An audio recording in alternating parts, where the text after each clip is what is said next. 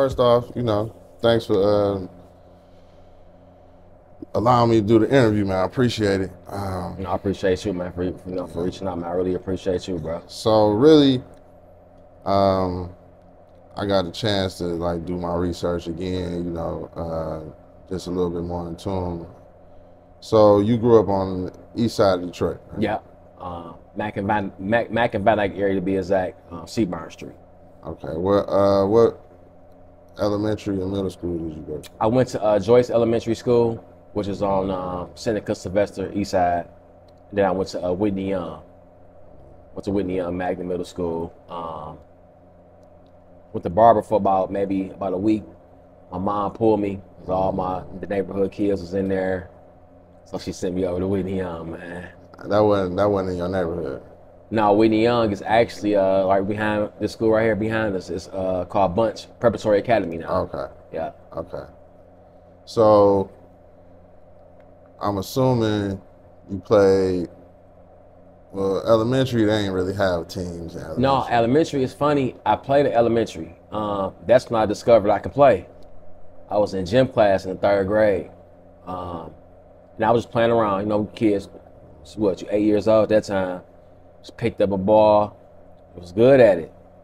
It was to the point. Um, I think the gym teacher told like the staff members of the classes would just come into the gym during my gym hour just to watch me play. It's pretty. It was pretty crazy. That's when I discovered I was a good kid. I'm a good, good basketball player. But um, at the time, they didn't allow third graders to play. It was only for fourth and fifth graders. Oh, So, so the my coach was he was the uh, gym teacher. He was pushing for me to play, but the rule was uh, only fourth and fifth graders. So I had to wait till that following year, to start playing organized ball. Fourth grade, that's pretty good. Uh, have organized basketball around that time. Yeah. So when did when did it start? When did you or people around you start really noticing that you, um, you know, you were really good at it? like I said, they noticed when I was as young as third grade. Um, the people can attest that, that I grew up with. I got friends I still talk to from elementary. That's a blessing. But uh, really, in the fifth grade, uh, I, I played in the fourth grade. I started. I was starting in the, in the fourth grade. But that fifth grade, my first game I had, I was in fifth grade, man. No lie. We played against Lynch Elementary. I never forget.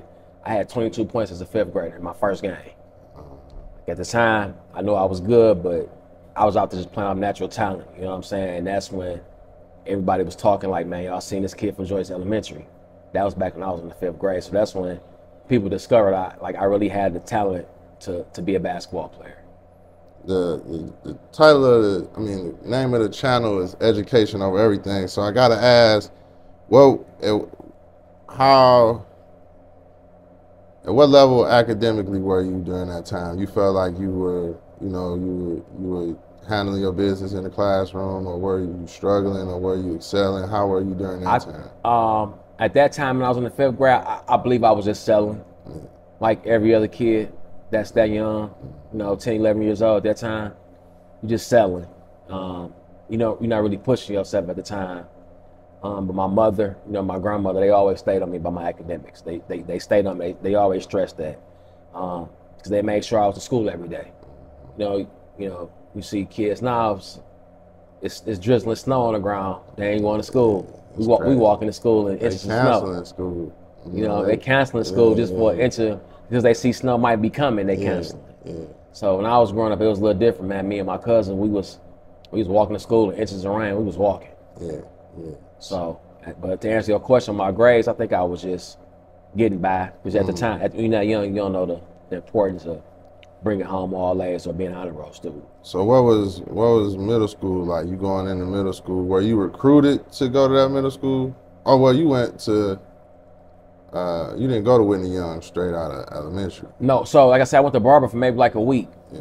My mom, when she found out all my neighborhood friends there, transferred me to Whitney Young because she knew it was a little bit more better academically. It was more structure there, which I needed.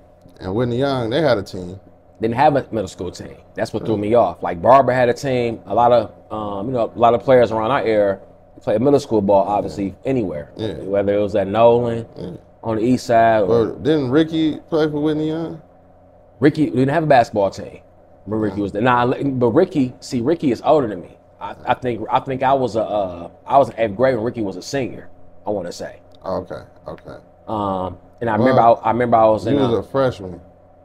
What, what year Ricky come out? 2000. 2000. I was a freshman. Yeah. I was I was an incoming freshman Cause Ricky, uh, Glenn Bateman. in Glen Baby Yeah, with the cast. Yeah, went to Windy. Yeah. Yeah. Yeah. Okay, so, mm, so y'all didn't have a team. So where where did you play? So, so I played um, PAL. Um, I Oh, played yeah. for the team um, called the All Stars. Um, it was elementary. It, it was my coach was coached at a school called Maya. His name is Duran Shepard. Coached at Maya. We played in our same league. So that year, um, our league threw an All Star game at St. Cecilia, and he came up with a brilliant idea. He took all the All Stars, and he got with our parents after the game was over. and was like, "I'm gonna put together an AAU team."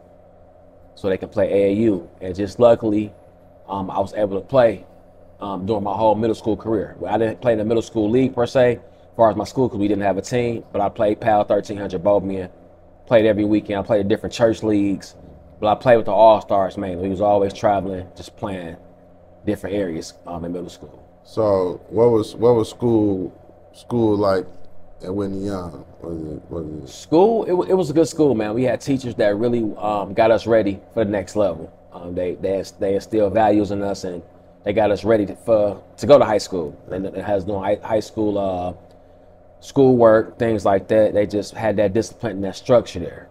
You know what I'm saying? So it was good for me. And how I heard of Ricky, it was a big newspaper article of Ricky. I seen it when I was in the um, eighth grade. So he was at Renaissance. Yeah. I was playing at Renaissance, and they was uh obviously they was promoting him because he went to we went to the same middle school, and um I was I was just like you know I ain't I, I didn't know him personally, but all you seen was a big newspaper article of Ricky Paulding and how he was selling at I, Renaissance. I at remember time. that article. Yeah, you remember the article. It's like a two page. It's like a two page article with him on the front. Yeah. So uh, you know him and him and his sister went there. Like I said, they older than me obviously, but uh, that's when I first heard of Ricky Paulding. Yeah. So you leave. So were you, you? Did you feel prepared to leave? I mean, go to high school. You were. I mean, ac- definitely athletically, but academically, you were prepared as well. You know, at Whitney Young. Yeah, I, was, I think I was prepared. I knew I knew what I was supposed to do because, like I said, um, not only did the teachers and the administrator um, install values in us, uh, my high school coach did also. Uh, he, he was a teacher. He was a, he was a math teacher at Maya. He was a basketball coach. So he he installed the importance of getting education and things like that. So if we came up with a, a, a bad report card during um, you know PAL time, tournament time, he would discipline us, whether if it's I'm not starting or whether if, if if I got to sell the game. But he always on us about our grades. He'll never just show up to the gym and as long as you can play ball, you playing. He made us. We had to do good academically play.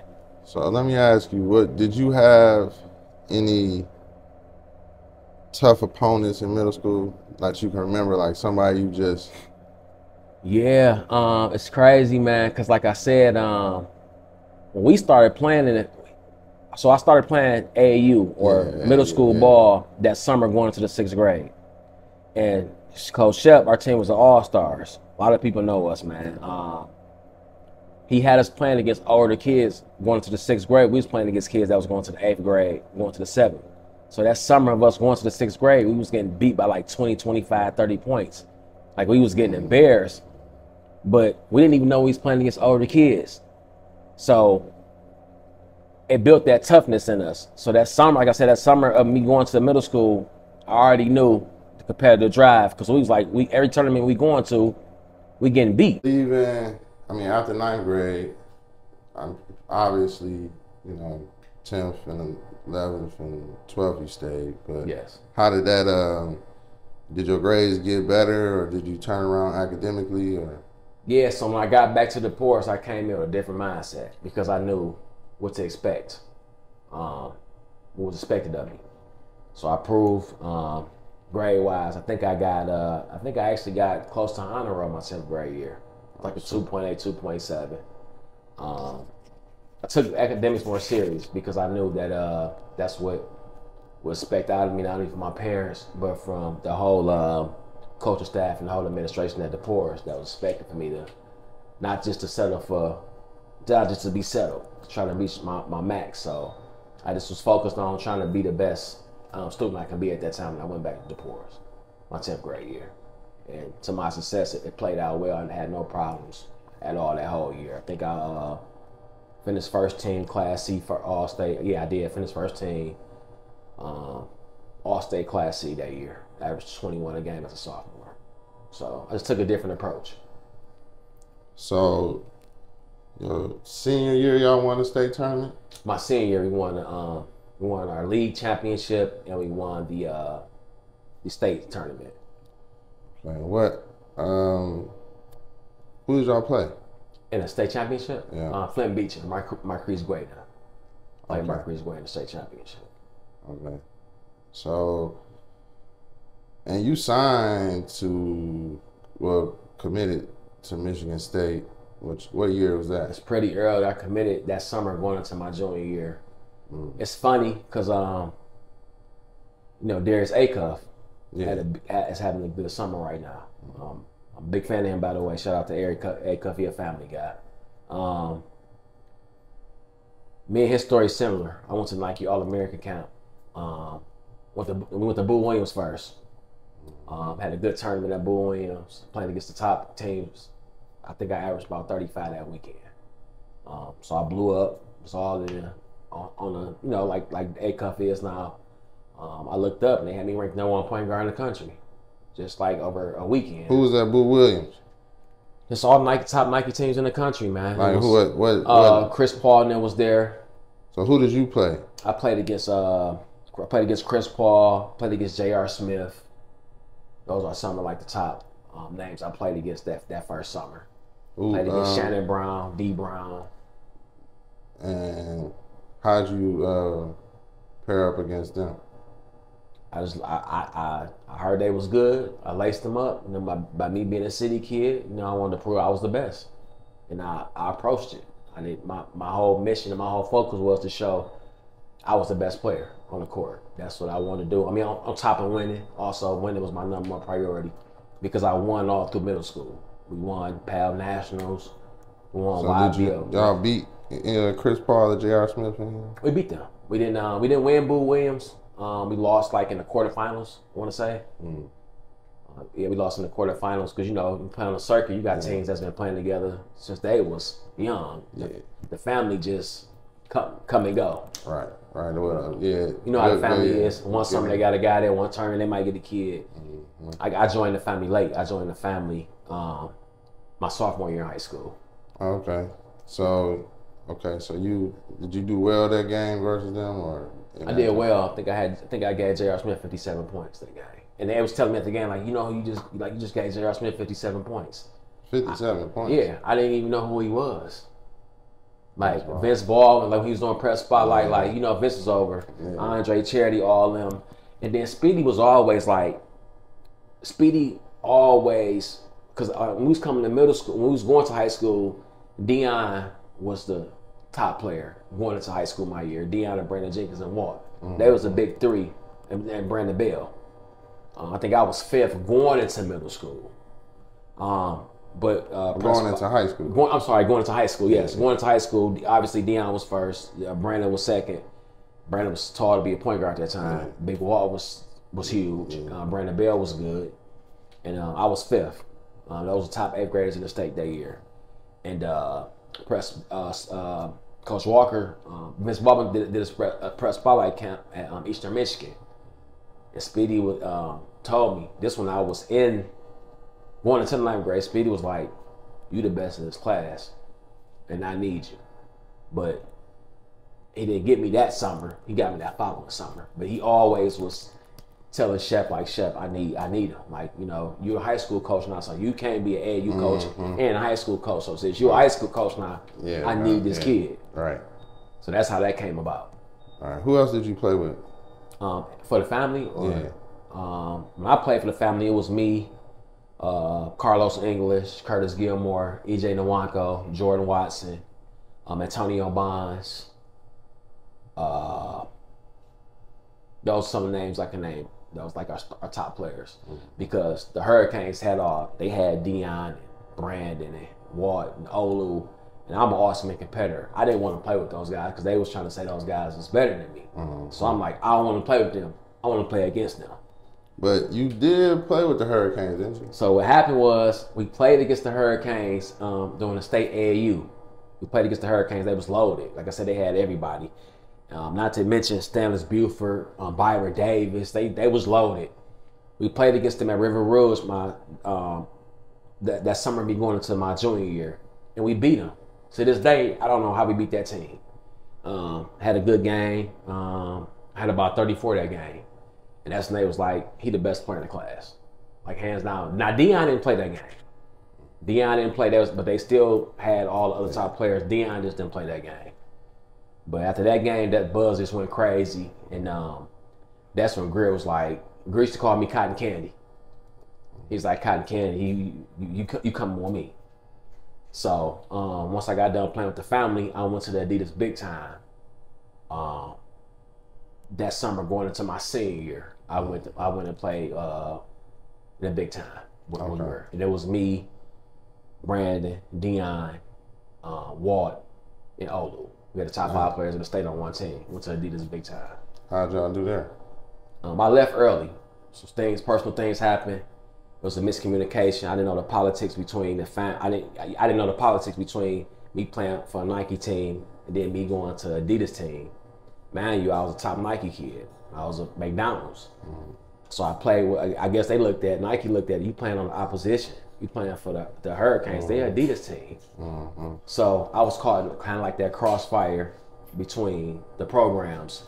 And like I said, I had a mother who didn't. My mother wanted to keep everything on the up and up. I gave Izzo a commitment. It was rumors that I was transferring, leaving. I was going to decommit from Michigan State to go to Ohio State. So my mother didn't really know Chris Greer that well. There's no shade on her. She didn't know him that well. She's like, just come on home. And I believe if I stayed, we probably would have won a big time because we had just had a big win. We had just had a big win over um, over Daniel Gibson. Now. We had just okay. beat them. And um, that's when everything happened overnight. And all I know was Greer was like, you got to go back home. Yeah. It's a big, it's a bunch stir up. Izzo calling your mother, saying you about to decommit and all this Yeah. stuff. So I just went back home. So before you went to the big time, you already it was a McDonald's game prior to that or after that? It was after. Now me, you gotta remember, I played well on the Nike circuit. Then I went to the Adidas circuit and played well on the Adidas circuit. I think I had about 27 points. Gary Payton was at the game. LeBron was at the game.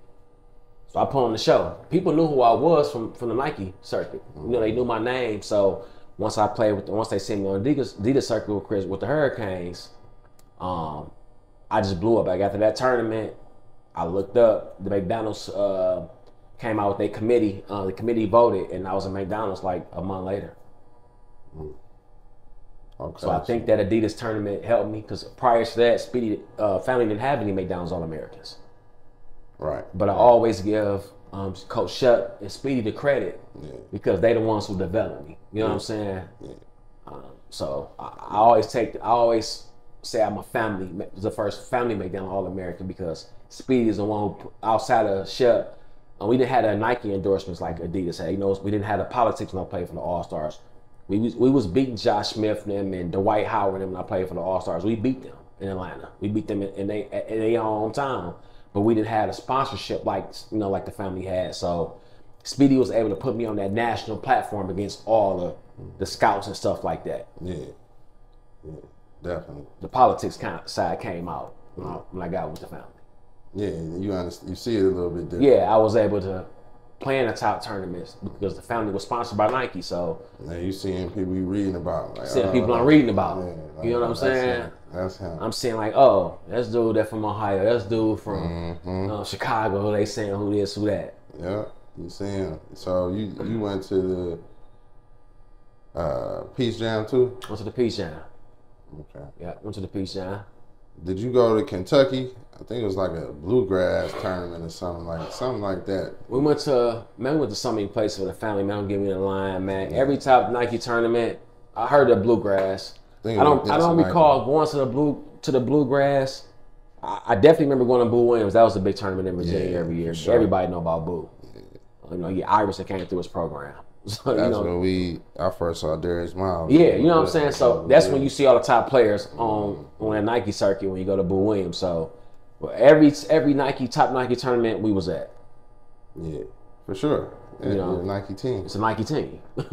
So when did when did you? Uh, so after all that's over, you getting ready to go to state? Yeah, after so after I got done, because like I said, we beat I beat Brandon, I beat uh the Hurricane. So I'm like, okay, I can go play with y'all now. They was my homeboys outside the basketball court. I just had that Kobe Bryant mentality, like I ain't teaming up with nobody. Right. Like once I beat them and showed the state, like, okay, Yeah, like y'all see I what it is. it beat is. them. Now I can come play with y'all. So uh, who was all on your team in the McDonald's? On my team, oh man, it was um, it was, it was uh, Shannon Brown was on my team, Kendrick Perkins, um, Olu, Aaron Brooks, uh, Luol Deng, um, said Kendrick Perkins, uh, Luol Deng, James Lang. For some for some reason, I played on the West team. It was weird, and LeBron was on the East. So I don't know how he did it. Like Chris Paul, LeBron, all them was on the East team. So I don't know how they I don't know how they matched the teams up. I didn't never ask, but that's how that the. West lost though. We lost. Yeah. We lost to LeBron. How'd you do that game? Um, I didn't score. I didn't even score a field goal in that game. I didn't take that many shots because it was. I had just won a state championship. I got there late. I won a state championship, so I got there um, like three days after everybody was there. Was partying in Detroit, partying hard, man. Went got to the McDonald's game. Um, I was already committed. I was ready to go to college, play ball. Man, I really was just there for the experience. And you know, at that time, everybody wanted to prove that I'm better than LeBron. That's what everybody was saying. Like, I'm about to kill LeBron. I'm about to do this to him in the game, stuff like that, because he was he was the feature. It was in Cleveland. Right. So I'm like, everybody, and I was a point guard. So once you pass the ball, you ain't getting that mug back in the McDonald game. And I could have been more assertive, but I felt like at that time I ain't had nothing more to prove. Yeah. I was I already made the McDonald That's game. an All Star game. It was All Star game. I'm like, I ain't really got nothing to prove. I'm a McDonald's. You know what I'm saying? But just from a competitive standpoint, I wish I would have been more aggressive in that game. Just because you can't you can't get that game back, so you always want to leave your mark on that game. Yeah. You know what I'm saying? Yeah, yeah, yeah but you know. But yeah, I was already Yeah. completed. I was already set. I was had a full ride. Nobody everybody really knew I, about how everybody knew I was like the top three point guard in the country. It wasn't no All Star game stats. Yeah, Really don't matter. it ain't. It don't really don't matter, man. It just it was long. And once you made it to that, Yeah. you made it, bro. Like you scoring five points, you scoring twenty five points. Do it matter? Nah, It don't take away the player you are. So how how was it? How was the like? What was the atmosphere like surrounded by you going to uh, Michigan State?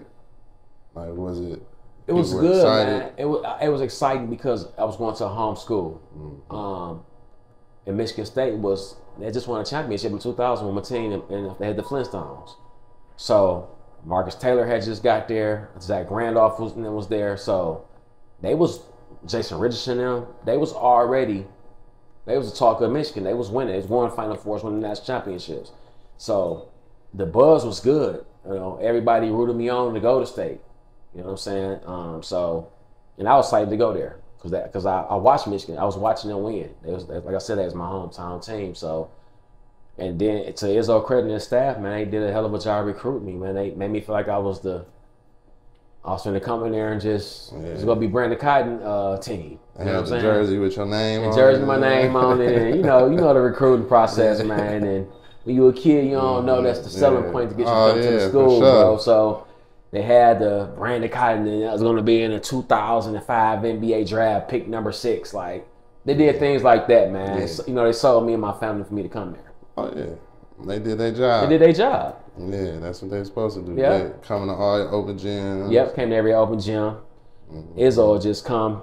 I could just have a regular practice, team practice, and I would see Izzo there. He would personally drive to come watch me practice, just to see how my how I work in practice. Or at the time, Coach uh, Mark Montgomery did uh, recruited me and, Mi- and Mike Garland. Mm. They recruited me heavy, so they, they always would come down there at least once or twice a month to come, to come keep an eye on me.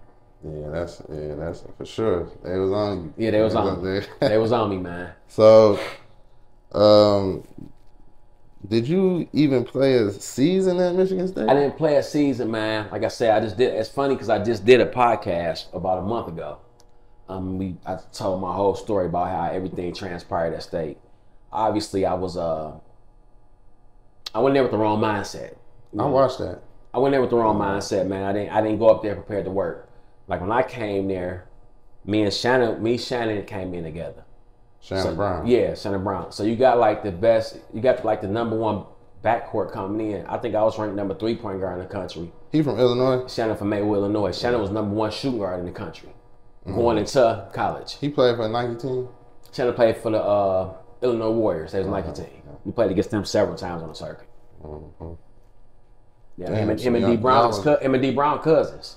Oh, for real? Yeah, so him and Dee Oh, Brown, wow. but both played for the Illinois Warriors. But Dee Brown was a year older than, than us. Dee Brown was 02. Okay. So y'all were roommates. We was roommates. My roommate. Yeah. So what what were those conversations like? Man, me and Shannon connected because um, I knew, like I said, I knew who Shannon was. I, I was playing against him. Yeah. Um, we had some battles. Um, I don't never recall him beating us. I'm gonna put that out there. Shannon ain't gonna lie about that. We always we always beat him. But no, Shannon came to me one tournament, man, and um, when more we got acquainted, because Shannon's actually finna go to Kansas. Uh, He's finna commit to Kansas. But once he seen I was going to Michigan State, Izzo recruited him, and he came up to me at a tournament. I want to say it was in Indianapolis for a tournament, and he's like, you know, Izzo really recruited me. Um, I got them Kansas and Duke in my back pocket to go. He's like, he's like, all right, but Izzo told me that you know you got a commitment from you. You go stick, you go honor that. I'm like, yeah, you know, I'm I'm going, I'm going there. I'm from Michigan, so mm-hmm. that'd be a good fit for me. And so he committed about a month later, if that, he committed. He had a good career there. He had a great career there. He left as a junior. Man. And you got to remember when he came in, he came in playing behind Kelvin Torbert, Alan Anderson, Chris Hill, Mo Ager. So he had his work cut off for him. Yeah. I mean, he was probably more decorated than him, but they had already had the experience on playing the Big Ten Division One level, so he still had to come in there and outwork them guys. So how did you how, how many games did you play? Or did you suit I up? for? played. Um, I played. I played all the ex- exhibition games, and I played my first game against Bucknell. I came down off of um, off a dunk, and I came down. I landed on my foot. I had a, a stress fracture in my foot because it was a. we used to have four, three hour practice, two a days. So my body, I guess, wasn't used to that intensity, and I caught a stress fracture in my foot. So I set out. I got. Um, I had to sit out uh, six to eight weeks with that stress fracture. So that was a difficult time for me just mentally trying to bounce back from a major injury like that. I'd never been injured before. That's a theory with uh, Michigan State and Tom Izzo that he overworks his uh, players to the point where they're susceptible to injury. Yeah, I got a stress fracture, and I'm a kid who used to play from sun up to sundown, like in the neighborhoods. But I guess with that intensity, with the coaches yelling in your face, BC, get downstairs, you know, with that intensity, I guess it was more strain on the body. And like I said, man, I just, I came out for dunk. I felt a little tweak in my foot, and my foot was kind of getting numb on the bench. I was just moving around. I finished off the game, but I got out because, um, like I said, me and Shannon was roommates. I stayed on the on the top bunk. Shannon was the bottom, and I when I stepped down off the bed that next morning, I couldn't walk. Damn. I called the trainer like, yo, I can't, I can't put no pressure on my left foot. Like I cannot walk. So came check me out. Um, they got me over because I stayed in Wonders, which is right across the street from the Breslin Center. It was right there, so I just hobbled over there. They did a test and was like, you got a stress fracture in your foot, but it was a common injury. Alan them had it. I want to say KT them had it. Uh, Mo had it. Mo Ager had it. All of them had, had it. They said like four of the guys previously had already caught the stress fracture. Damn. Yeah, it was just, and the doctor told me it's just overworking your body. Wow. yeah, That's crazy. It was weird, man. You said three hour two a day. it was three hour tour days. Yeah, How long did that last? the whole first month? Whole first month. Hmm. Did y'all have to practice with the football pads and all that? Rebounding? Did you? Did We you did a we did a football drill with the rebound. We did the, the defensive. Uh, people overhype it, but it was just a drill that we did. It wasn't an actual session. It was just a drill Yeah. to get us.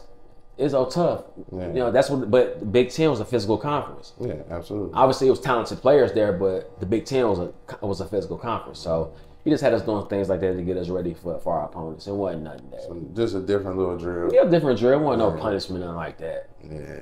Damn. So you played the first game and then And got then injured. I got injured. So when I got injured, um, like I said I was already kind of going through it because I'm like, "Dang, I ain't playing. I'm, and I'm watching Chris Paul and them start at Wake Forest. I'm watching Andrew Lavin start at Oklahoma. I'm watching all my guard Mustafa Shakur starting in Arizona. Aaron Brooks playing. I'm like, dog, I ain't playing. It's bothering me. But I'm like, at the time, I'm like, well, you injured. So when I came back from injury, um, it was against UCLA. And they had Trevor Ariza now. Mhm. And um, I'm getting ready to play. I'm in practice. I'm, I'm doing my thing. Because at the time, I was like the only really creator off the dribble. Well, we the guard was there. uh, at Michigan State. Point guard? No, I was only like play. I was only like playmaker we had at the time because Marcus Taylor had left early. Yeah. He had left. So Shannon, Mo, KT, Alan, they all was wing players, mm-hmm. athletes. They run the Yeah. wing, shooters. So who played the point after you left? Chris Hill. Oh wow. They put Chris, but Chris Hill was a shooter. He was our best shooter. But see, Chris Hill was forced to play that. Him and Alan was forced to play that role because Marcus Taylor kind of left Izzo them for dead. He left as a sophomore. Yeah. Remember, he left early. So I don't think Izzo was prepared for him to leave that early. So I think that's why he probably was kind of on me. I, and I, and still to this day, 20 years later, I think his intentions was to have me as his future star point guard like a Mateen Cleaves now.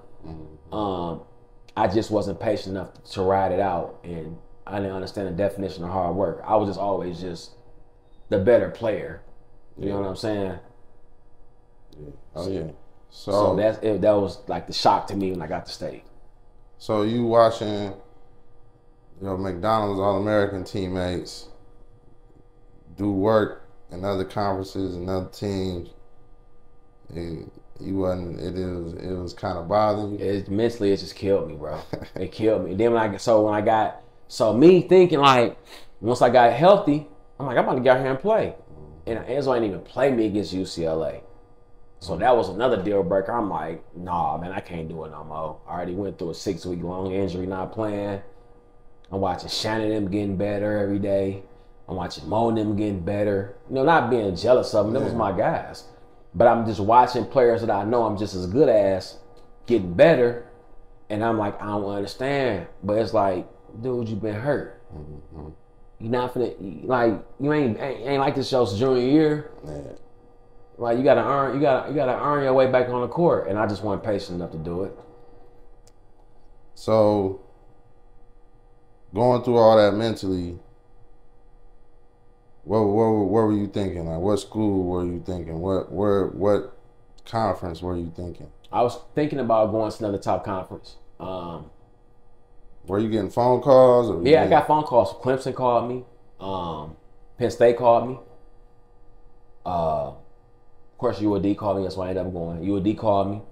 Um, but I, my confidence was so shot.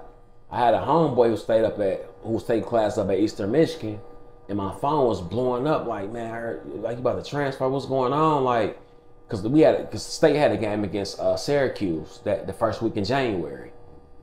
And I already told Izzo I was gonna leave, or I guess the rumor I was leaving. So I heard Dick Vitale like, Brandon Cotton, don't leave Michigan State. You're gonna regret it. You're gonna be a, a future P- PTP and all that.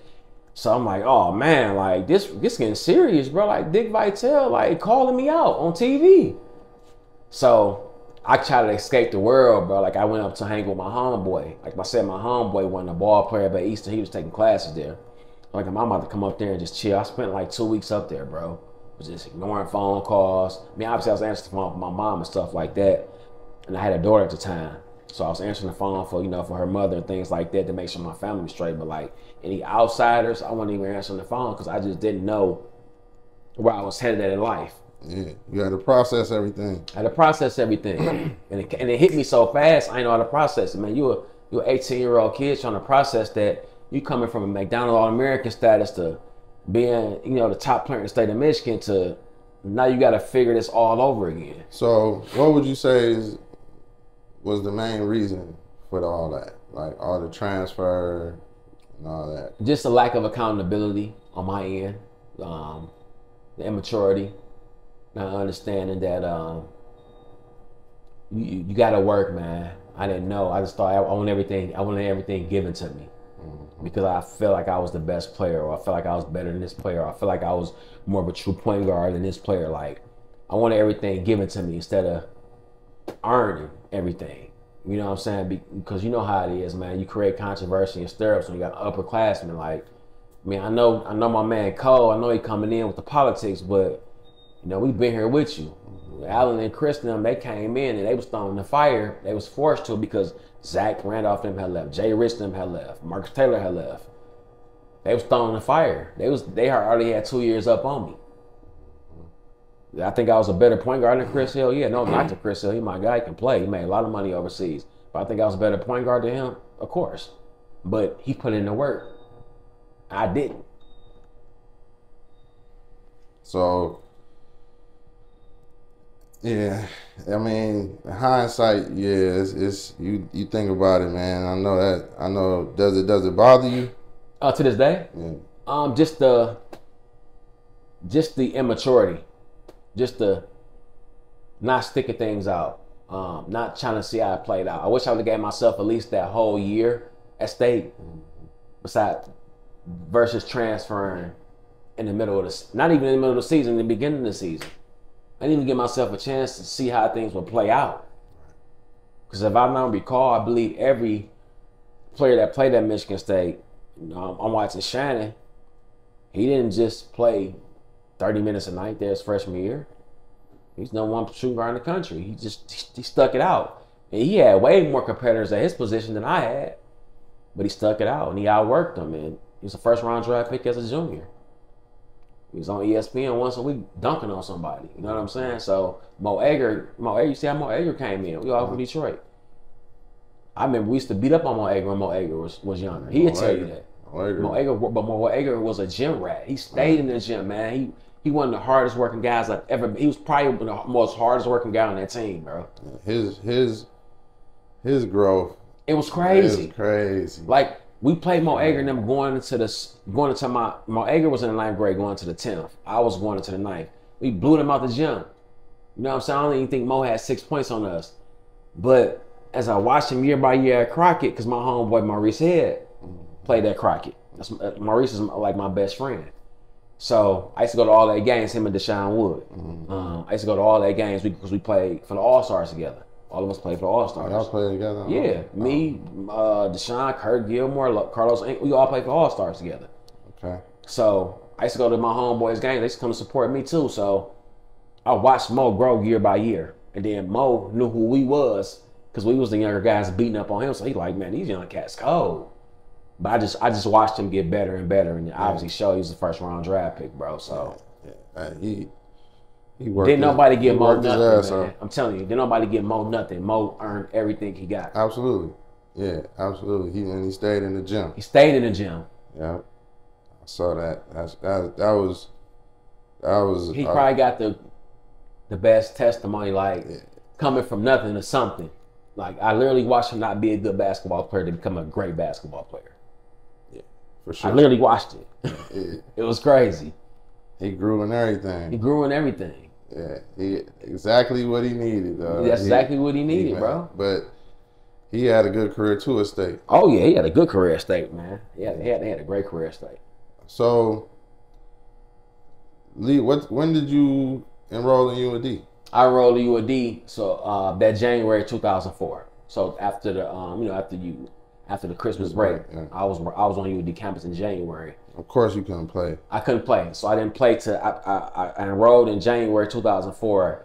I didn't play. My first game was against Eastern Michigan, December 20th, 2004. So I sat out that whole year. So, how how are you feeling finally getting back on the court at that point? Man, I was hungry at UOD, man. I went there like, man, I'm finna come. Because you got to remember, I had just watched Willie make it to the league. Willie Green. Willie Green had just made it to the league. So I'm like, man, if I come in and put the work in like Will now, I can go to I can go to the NBA too. I get a shot at the NBA from from from uh, from six mile. Like it just because you go to UOD, don't mean I watched Jermaine hmm NBA. I watched Rashad Phillips. Rashad, one of my favorite players ever. You know, Rashad sure. like was a mentor for me at UD. Yeah. So always give me advice. So I watched him have success, man, and things like that at UD. So I'm like, if they did it, if I put in the work, I can follow be- behind them. But I knew I had to come in there and put in that work. I knew just me being talented wasn't gonna be good enough. So um, to answer your question, bro, when I got on the court, uh, like I was on scout team because I couldn't play, so I was always on scout team. I was going hard on scout team, bro. Like Perry, like they gonna let you score, score. Like I was just hungry. I was. This one, Jimmy Twyman, then was at UD and Rulon Harris, them. I'm like, man, I'm about to go at them. Like, they're my teammates, but I'm hungry. Went through a long, long road. I want to, I want to put the doubters wrong because some people like, oh, I told you you weren't good enough to play at Michigan State. Not knowing the inside. You know what I'm mm-hmm. saying? Not knowing he, he, this guy ain't even in the gym. Right. You know, you know, they, everybody gonna, a lot of people gonna say that. Yeah, a lot of people gonna say that. But as, as you growing up as a kid, you take it to the heart. Yeah, it's like, oh man, they ain't hating on me, I don't like me. But people gonna, you damn if you do, damn if you don't, man. Right. It's an old saying, bro. Right. So once my first game was against Eastern, I scored 27. My first game. So once I got that first game under my belt, it was on and popping, bro. I ain't, I ain't look back. I'm like, okay. So how much did you average that season? Uh, 21. 21. I was a, a redshirt freshman. I played uh, James Steele. Me and James Steele was starting backcourt. That was James Steele's senior year. I was a freshman. And you were Y'all almost made it to the tournament. We lost by one point to Wisconsin. We lost on a final foul call. Famous um, Laimbeer on um, Kareem play. We lost on a final foul call, man. They called a, a bogus call on my guy, um, and, and, the guy went to the strike and knocked him down. They beat us by one point to go to the dance. Wow, that's mm. Yeah, it was a phantom call, man. You look, if you look that game up, man, it was a phantom call. But they was we played on their home court. They had the best record, so they had a championship game on their home court they host the tournament. Mm. Oh, well, there you go. There you go. You know what I'm saying? Yeah, you get home home cooking. Yeah, we got, sure. got the home cooking. Yeah, it was definitely a phantom call though. So, but the next season you didn't play. I played the next season. I had a hand. So what happened was, I had a hand injury. I got into a severe car accident. I had just won uh, newcomer of the year, freshman of the year in the conference. Um, I made the all conference team. I won the MVP of my team that, that year mm-hmm. at UD. Um, and then I had gotten into a car accident that June. Um, I was going back up to Michigan State to see my daughter's mother. She still was attending there. Went back up there, got hit by, uh, it was a hit and run. Hit me. I severely damaged my fingers. You on the freeway? I was on the freeway. I was on 696 in Beck Road. I'd never forget the area. And it was they, June. It was June. Like T-boned you? They T when they hit me. I don't know what happened all I heard, my because my cousin was in the back seat, because I, I, me, my first cousin, and my close friend that I uh, grew up with, um, played uh, for the All Stars with, they was dating. And like I said, my daughter's mother was me and her were still dating, so me and her would take turns going back from Lansing to Detroit. And I had drove up there, and um, I guess they T-bombed me. But whenever they, they hit me, I lost control of the wheel. So when they hit me, the car spent and I was trying to, you know, grab the wheel, but it was out of control, so we tipped over. Once we tipped over, obviously all the glass shattered off the car, and the car what was just car was it? was a, a Trailblazer. Oh, okay. So when it flipped over, my hand was just spinning with the car. Like I was looking up, like like I seen the car, I seen the sparks literally literally shoot up from the car. Like I thought I was about to die. I'm just gonna be honest with you, man. I thought I was about to die because it was it was a dark highway. It was raining and the sparks was just flying, and my hand was was it was, it was nighttime. It was nighttime, so I was trying to pull my hand up because I seen blood just shoot up from my hand. So I'm trying to pull my hand up from off the car, but my car just is spinning. My hand spinning with the car. Dang. So once it stopped, I'm like, I was shocked because I still was alive. I'm like, I'm like, oh, we alive. So I was, or I was in the days. I, I tapped my cousin there because my cousin was just hollering and screaming. I'm like, y'all, come on, let's go. I'm like, we alive, y'all. Let's get out, out this car because we was face down on a dark highway. So it could have been a car coming, not seeing us, and it could have just been all bad for so us, bro. The truck was in the middle of it the was in the middle of the highway on a dark, rainy road. Mm. You know what I'm saying? Mm. So I'm telling like, y'all, let's go. Like, I mean, my hands, my fingers is not even detached to each other no more. Not trying to sound gruesome or nothing, but I'm just, they weren't even detached no more, bro. And um, I was trying to keep them strong. I'm like, y'all, we alive, man. Let's get some help. So luckily some cars seen us, man, seen need the help. They just started pulling over. EMS came, I looked down at my hand, bro. I looked at my hand, like my fingers weren't even attached to each other. I'm like, dude, it's over with. I lost all, I lost my fingers. So I um I looked at my fingers and they were severed. So I'm like, dang, I can't play no more. That's what I'm thinking in my hand. So my my cousin seen it. My cousin seen them, and my and my and my my, my close friend, it just broke down crying because they knew the future I had of me. They like, it was just a sad moment, man. Um, I didn't know what to expect. I, I just knew all my fingers were gonna be cut off. Well, three of them was gonna get cut off. I injured three of them. So, what what were your cousin? Who was your cousin and who else? In it was my cousin. It was my close friend. His name was Eric Bryce. What were they saying during that time? Like, they was because I was like they were in shock as well. They was in shock, man. Like my cousin was just screaming, crying because it was her car. It wasn't my car. I just drove because I knew the way. I knew how to get through Lansing. And like I said, they was dating in the back. So you know how you, you know younger man, you gonna sit back there with your girl, hold your girl, and all that stuff. So I'm like, I drive up there. I know I know the route up there. Y'all can just chill. So when they seen my hand, just she was already distraught because first of all, we almost lost our life. A. Second of all, she had just got that car like two months prior. Mm. It got totaled. Initially seeing my hand, she just freaked out when she seen my hand. She freaked out. And I'm still like, calm down, y'all. We alive. I'm just thinking that we alive. In the back of my mind, though, I'm like, I'm done. It's over with for basketball. I just came off having do the average 20 as a freshman on a division one level. I don't care what school you go to, that's a lot of points for division one level, bro. So had a bright future ahead of me. I'm, I'm like, it's over. So you go and what did the hospital and what did they say? So I went I went to uh, Beaumont. I never forget, man. I went to Beaumont. Um, I'm so heavily drugged up because I, I, had to get surgery right away. Um, they did their surgery when I woke up the next morning. I had, you know I was just wrapped up. So I asked my mom. My mom was right there by my bedside, and my daughter's mother was also. And I was like, "Mom, what's going on with my fingers?" I'm like, "Did I lose my hand? What's going on?" So doctor told me like um, we, you know, we stuck pins from the tips to the ends. We had to sew his fingers back together. Um, but they was like, we had to amputate the middle. We had to amputate his middle finger, the tip of it. We couldn't save it. So I just dropped my head. I'm like, mm. I'm like, I know I'm, I know, I'm like, I know I'm done. So I asked him, I said, you know, doc, just be real with me. Am I, can I play this year? Am I able to play ball again? He was like, I can't say you won't never be able to play again, but he's like, next year, no, definitely, you won't be able to play next year. I just dropped my head and started crying. Like I said, I just came off that great year at UOD. I just came all at controversy from Michigan State to having a great year at UOD. My future was bright. Um, I, you know, I was Perry all that or gave me the keys as a freshman to the team. So I was just like, man, like um, I ain't gonna be able to play my sophomore year. So it was a, of course, a level of dis- disappointment. Oh yeah. And so what? What was what was Perry Watson saying? Perry was, uh, you know, he was there for me, man. He was, he was, he was devastated too, man. You know, Perry wanted, he wanted the best for me. He, he wanted me to come there. He got me to come. And Bacari, Alexander, they, they, they, they got me to come there. He didn't do, he didn't recruit me out of high school because I was a five star recruit or a four star. He knew he wasn't finna get on Brandon Cotton. Yeah. But he always told me like these doors are always open for you. So me and him only had probably like one conversation in, in high school. I didn't even know Perry that well. Bacari got me to come there because Bacari was uh, was recruiting my other guys to play for the All Stars because I played with a lot of guys who probably wasn't high major coming out of out of out of, um, out of high school, but they was good. They were still Division One players. So coach Shep would throw open gym at the Porres to get guys who didn't have a scholarship a look still. Mm-hmm.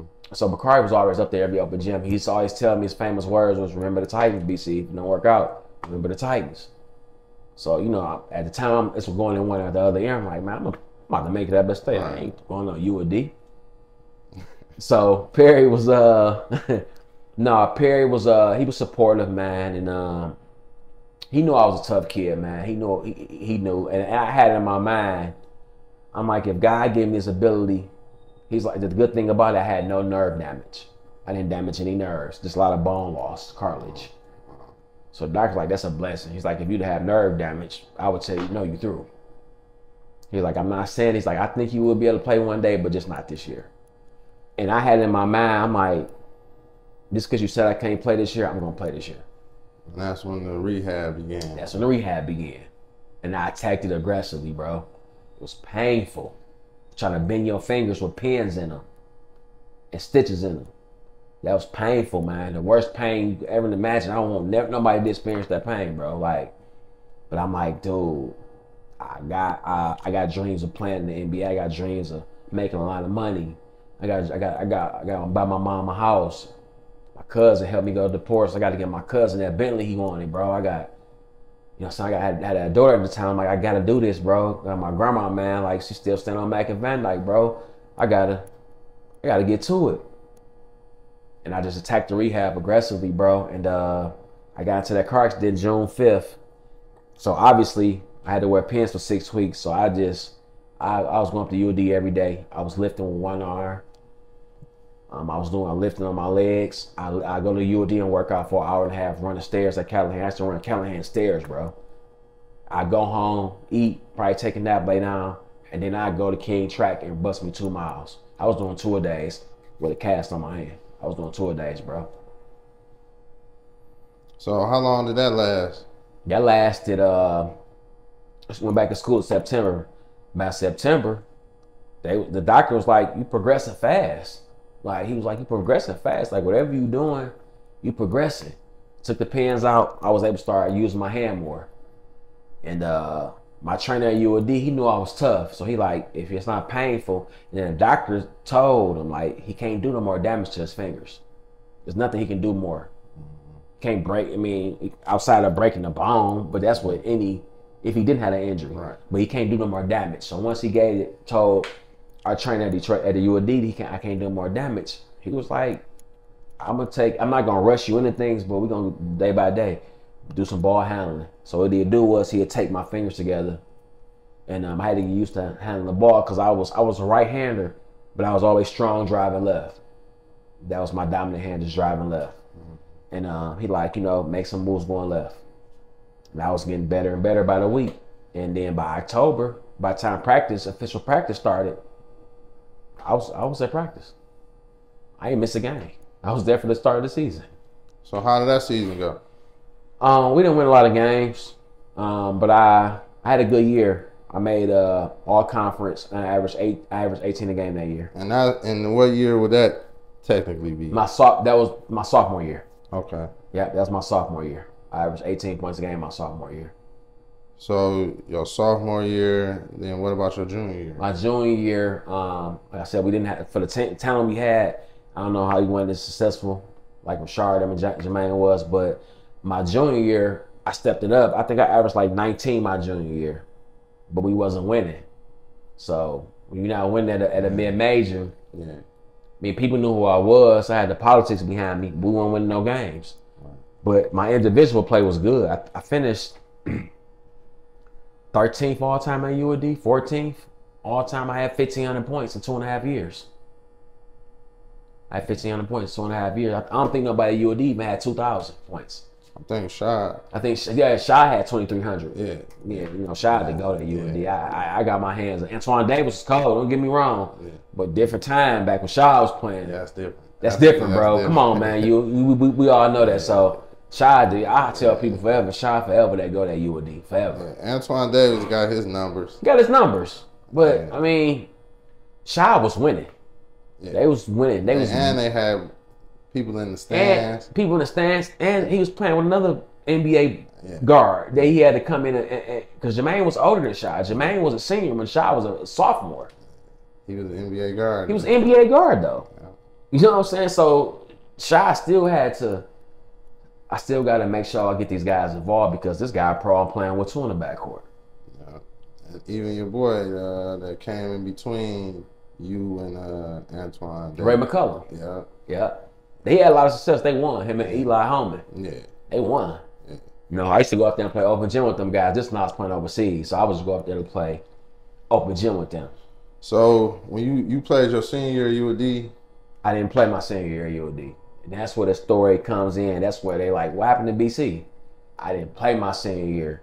There was an incident happened at a, at a liquor store across the street. Um, I was getting ready to. Uh, we was getting ready to head to our official. One on Livernois. On Livernois, Pied Piper. Yeah. I took a team out. I was going to my senior year. I was leader of the team. I was I was the best player on the team for, for two years. So took a team out. You know, we young, you know, college kids on campus. You know, you drinking on college stuff like that. Go to the Pied Piper. Um, little had a little bit too much to drink. I'm not gonna lie, and uh, I just sold a car or something like that. So I had a couple dollars. I think I had like fifteen dollars in my pocket. That's you know, that's a lot for a college student. I'm pulling out money and buying uh, champagne and all this. You know, we t- we party because we like, bro, we about to be doing tour days or we about to be study hall, film sessions. We about to be on lock. So we about to get ready to, to play. Like we finna go out and have a ball tonight though. Everything on me. I went back to the liquor store. Uh, I think I had owed her some change and I didn't want to break a bill. And I was like, can I, you know, can I bring it back to you tomorrow? I'm like, you see me? Like, I go over there just on the regular, just go get something to drink for the dorm or anything. And um, he was like, man, y'all athletes always want, want something for free, man. So I was like, I was saucy a little bit. I was already drinking. So I'm like, dang. So I kind of, the east side on me came out on him a little bit. I cut up on him. Like, I ain't vandalized the store, nothing like that. But me and my uh, my other backcourt mate, you know, we was on camera just Cussing him out. cussing him out. Like, man, you know, F you all that. Yeah. We go out to the parking lot, dude. We drinking in the parking lot. We not 21. And we smoking Black and Miles. He showed to take the Perry. The owner of the liquor store showed to take the Perry. Everybody knew who I was. I was Brandon Cotton on UD campus. And I guess he felt the way because I cussed him out. So he like, oh no. Like my man tripping. Like I already sell this guy liquor here under 21. Right. But I would do it because he Brandon Cotton. But once I cussed him out, he showed to take the Perry, man. And um, it was so it had went like like two weeks had went past. I had forgot the incident even happened. Cause like I said, I didn't vandalize this though. Me and him ain't getting into no physical altercations, nothing like that. I just cussed him out and walked out. And he went and showed Perry the tape. So after we, we had individual workouts that morning. And Perry's like after after we work out, uh, BC and John want to meet y'all in the office. So me and John is thinking it's a preseason talk. Hey man, right? This team, let's try to let's let's try to get y'all to where y'all need to be. And they was used to record our individual sessions and tell us, you know, this is what you're doing individuals you need to work on. He put on a tape. I'm thinking he put on a tape of us working out. I look, it's us in the Pied Piper store. I'm like, I'm like, so I tap John, me and John look like, bro. He like, yeah, well, like, what's this about? So, you know, I manned up. I said, well, coach, you know, we was over there. Coach knew we was drinking. Yeah. And my man had to take some type of ownership into it too, because he told us liquor under 21. But that's still one of the excuses for us to act out the way we acted out. But when you selling to minors, you're opening up that door. But coach looking at it as like, y'all the faces of this campus. Mm-hmm. Y'all could handle it better. So he was like, look, man. And it ta- then he showed him the tape of us in the back of the parking lot drinking and smoking Black and Miles. Honest to God, man, we weren't smoking no weed, nothing like that. Right. But Barry sings smoking something. He like, what's that y'all smoking? I'm like, a black and mild, coach. I'm like, honest to God, coach, it's a black and mild. He like, I'm gonna find out tomorrow. I got a drug test in the morning. I'm like, cool. Perry last words was to me and John Good was, as long as y'all pass the drug test, I'm gonna sweep this under the rug. But just know, I know everybody.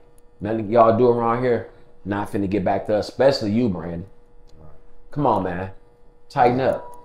But he, I, I, I, assume he was cutting me a pass because I never got no trouble at UOD.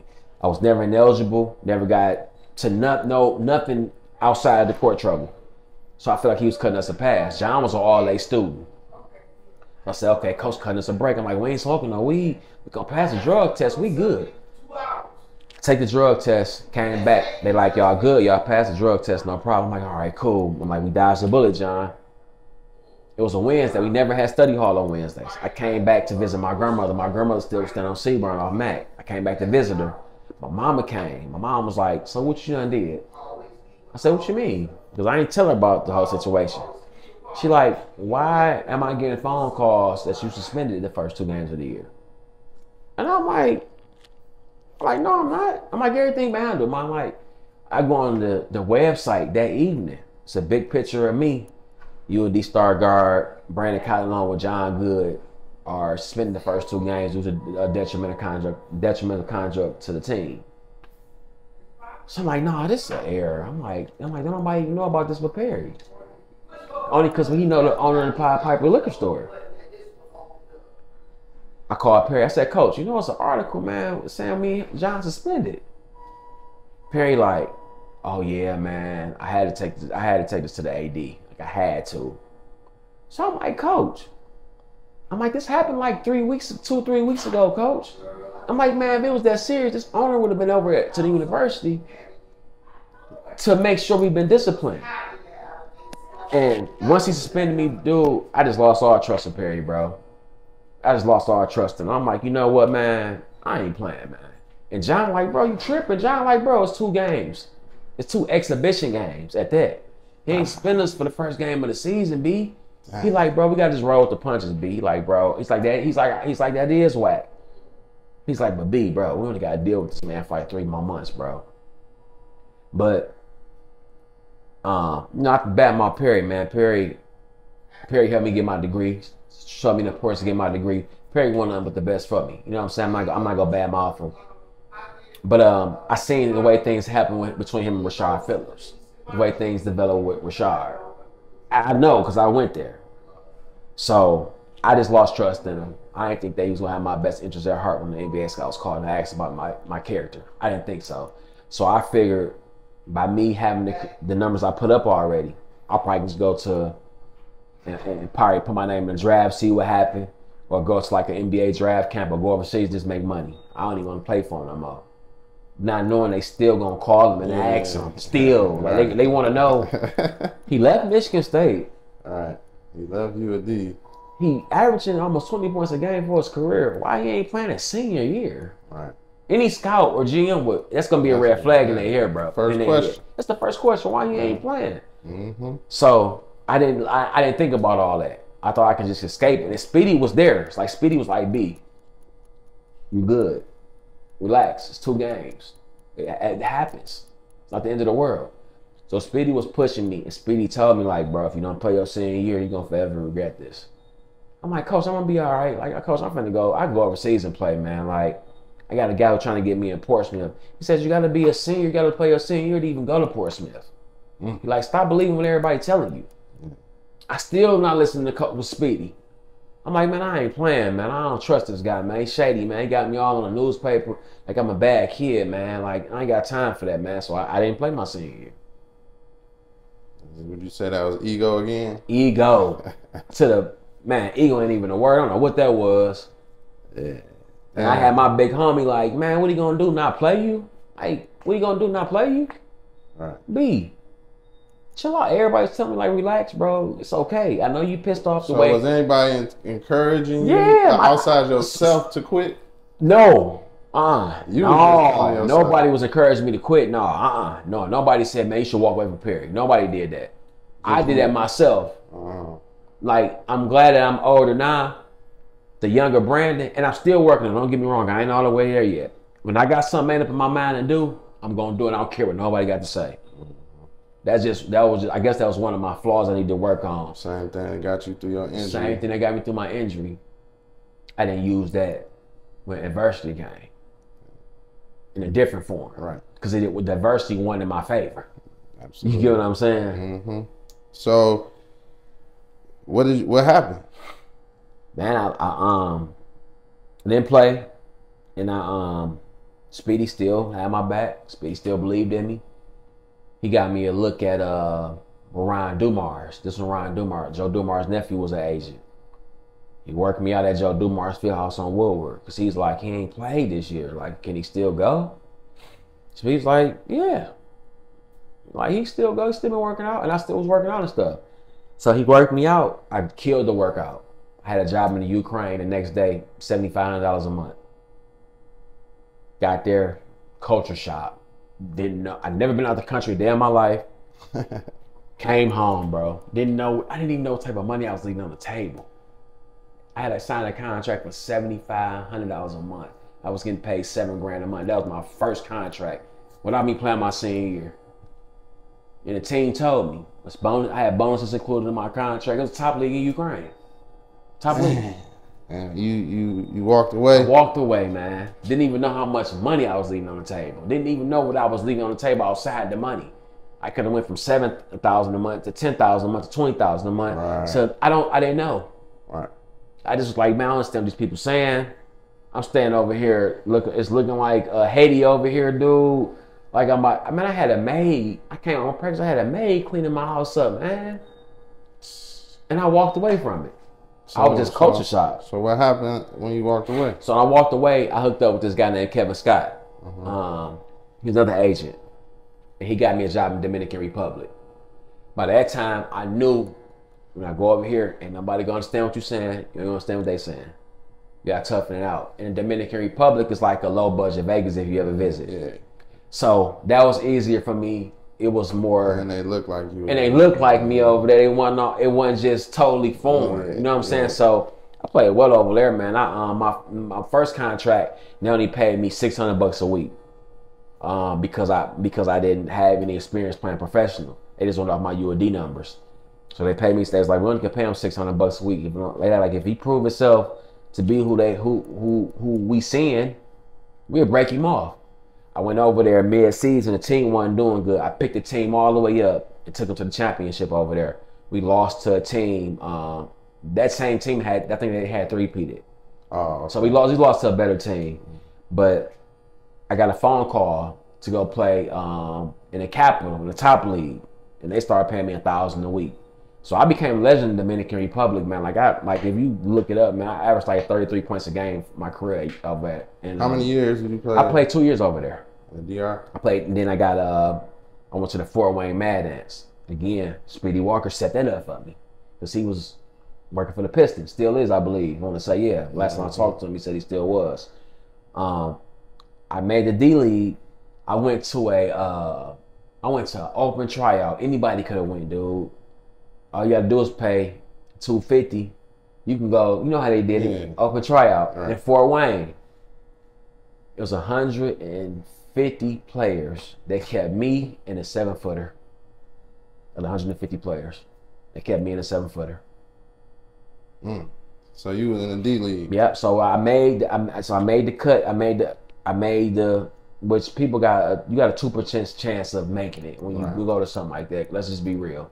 It's a money thing for them for real. So it kept me and it kept a seven footer. I still had to go to the um, training camp and out and make the team. Still, you still got to play the vets who came who played last year. I made that cut, so I was on the roster. Um, then I got a call to go over to uh, Munich, Germany. I played in Munich, Germany.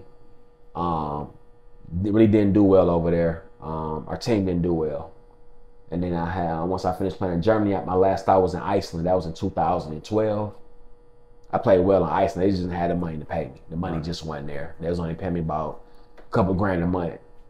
It just wasn't enough money. So I just fell back on my degree. And by that time, I had three kids already back at the, back home in the states. So I came home and fell my degree and started teaching, man.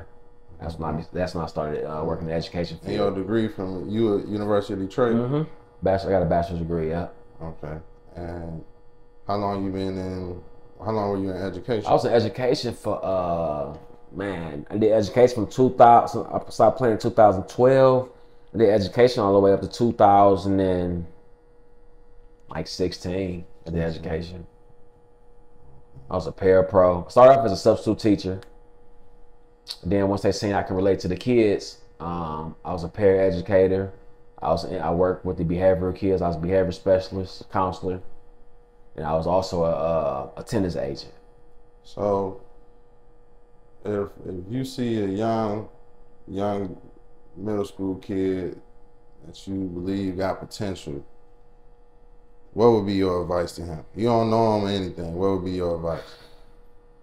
Stay working, man. Um, I know it might sound cliche-ish.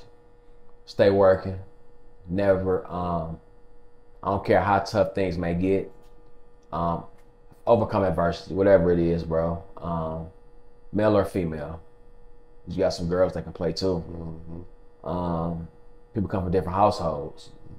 You see some adversity, man. If you got an opportunity to play Division One basketball, any level basketball, because it's going to help you in the long run. It's going. This is your life. these guys that's coaching you, these administrators, they're already successful in life, man. They they in the they they're coaching you. They are overseers. Stay with it, man. Work hard. Don't don't let adversity make you go left when you're supposed to go right or keep straight. Work. Listen to people. Ask questions. If you don't understand, that's our problem. We don't ask questions. We might just get lost and try to make our own solution. And sometimes our problem ain't worse than what it seems. What what about ego? Gotta put that to the back burner. It's easier said than done, especially if you a stud. But you gotta you gotta talk to people who's been successful. Uh, that's that would be my advice. Talk to somebody who you know that probably should have been somewhere where they supposed to been, but they didn't they didn't make it for whatever reason. It could be because they weren't tall enough, they weren't athletic enough. But talk to somebody who you know was successful in your department and see what ha- what did what what happened what what what didn't happen in your favor that's that might happen to mine. What can I do? You know what I'm saying? Like I asked Rashad a lot of questions because I still to this day I don't understand why he never got drafted. That's I think I think all of us probably asking that question. That's for Detroit, right? So, I I asked him a lot of questions, man. Just what what do I do so this won't happen? And of course, obviously, some things are not in your control. But you, but the bottom line is, you want to leave everything to where it's not in your control no more. You don't want to say, "I didn't make it because I didn't do this, I didn't do that." Leave it to where it's like I did everything I could. I worked my hardest. I gave it my all. Now I'm gonna let God and let these GMs and these people that's administrated that I let I'm gonna let them um, make that decision. But I know I did everything in my power. So we gonna mean we gonna wrap it up. And I typically last question in the interview I um I ask, so what what what role is education playing in your life? How important is education to you? It's very important um, in my life. Like I said, it took me a very long time to realize that. To be honest, dude, I didn't really realize how important it was to my um, senior year. Because I had to get like a 3.2 so I wouldn't be a Prop 48 at Michigan State. Because my overall GPA, either I had to do that or I had to score big on the ACT. It was either one of the two. And I'm like, my chances, I, I got a chance of getting a 3.0 before I got a chance of scoring, getting a 23 or 24 on a test, bro. I mean, honestly, man, that test hard. So I um I realized the importance of my, my senior year and education, man, is is very important because it can lead you to a lot of places. Because nothing in life is guaranteed. I don't care how good you is. But if you got a paperwork saying that I have a bachelor's degree, I got a master's degree, I got an associate's degree, I got a teaching job. I applied by me just having that paperwork. I got a job in like three days as a sub. They assigned me somewhere. I had no experience teaching, but by me having that paperwork, I was able to go get me a career job because I had the education. If I didn't have that paperwork, I wouldn't be able to do that. Just that simple. It's just that simple, bro. I literally, my my homeboy, the same guy that I was hiding out of Eastern with, was like, "Yo, you ain't playing no more. You need to come try this subbing." Like, like it's easy. I'm like, man, I can't teach no kids. Like, man, I ain't, I ain't that bright. Like, well, I'm gonna teach them. Like, I ain't. I mean, I'm bright, but not. But I'm like, I, I'm, I'm not a. They're like, he like, no, man, it's a lesson plan lead for you, bro. You gotta just follow. You gotta just follow everything. It ain't what you thinking, bro. So, I'm like, all right, I'm gonna try. You know, and, and the money was money was decent to basically just to to be around kids. So, I applied. They hit me back up like, come do your background check, take a TB test uh, and you on. And once I did all that, it's like, okay, you report. My first subbing job was at U Prep. And I did it and I loved it and I, I stayed doing it. That's what's up. And I work with the youngest kindergarten kids to seniors. That's sweet. I appreciate it, man. And uh, you know, hopefully somebody, you know, the, the next Brandon Cotton can can benefit from something. For like sure. this, you And that's my uh, like I said, that's my whole purpose of taking the time out to talk to, you know, guys such as yourself, man. Like I said, I re- a guy reached out to me. I never his name Robert Crawford, my guy. Like I said, it's on my um I shared on my on my Facebook. I don't I don't know him from Canada Pain. Like I, I saw his interview. Yeah, like I know, like I know you and stuff like that, man. I watched y'all play coming up, but when, y- when guys reach out to me explain my story, I do this for the next Brandon Cotton. I don't do this for me.